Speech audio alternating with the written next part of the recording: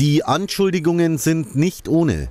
Die Tierrechtsorganisation PETA wirft dem Fischereiverein ASV Stephans Posching vor, im Mai ein Wettfischen veranstaltet und damit gegen das Tierschutzgesetz verstoßen zu haben. Laut 17 des Tierschutzgesetzes ist das Töten eines Wirbeltieres nur dann straffrei, wenn ein vernünftiger Grund dafür vorliegt. Ein vernünftiger Grund für das Töten eines Wirbeltieres ist laut Gesetz der Verzehr. Bei der Veranstaltung des ASV Stephansposching ging es darum, den schwersten Fisch zu fangen. Es war also eine Wettangelveranstaltung und somit rückt der vernünftige Grund in den Hintergrund. Und daher haben wir bei der Staatsanwaltschaft Deckendorf Anzeige gegen alle Teilnehmer erstattet. Die Veranstaltung findet jährlich statt.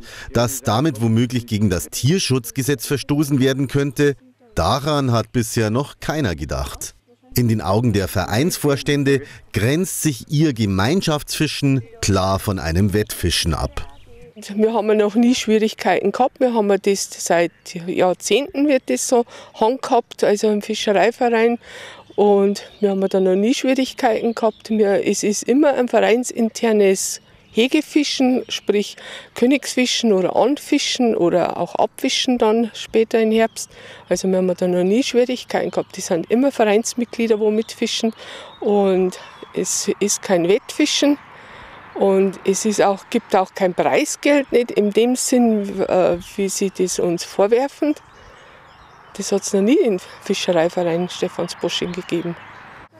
Entwarnung gibt Jörg Kuhn vom Fischereiverband Niederbayern.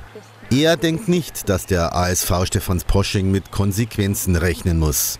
Gemeinschaftsfischen in der Abgrenzung zu Wettfischveranstaltungen sind ganz klar im Fischereigesetz für Bayern und der Ausführungsverordnung geregelt.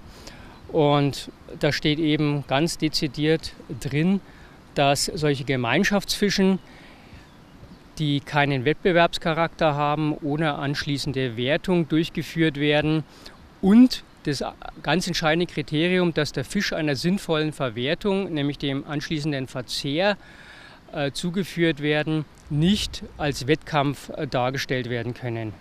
Und der Fischereiverein, der ist natürlich jetzt persönlich davon betroffen von so einer Anzeige. Die wird auch natürlich durch die Staatsanwaltschaft weiter verfolgt. Aber wir geben da dem Verein Rückendeckung, wenn er sich an diese Vorgaben, die eben dieses Fischereigesetz formuliert, auch hält, kann ihm so gesehen nichts passieren. Trotzdem geht die Anzeige Elisabeth Schuber sehr nahe. Die Fischerei liegt ihr nämlich im Blut. Ich bin seit meiner Kindheit schon am Wasser. Also mein Vater war Fischer und auch mein Ehemann. Mein Sohn ist Fischer meine Tochter.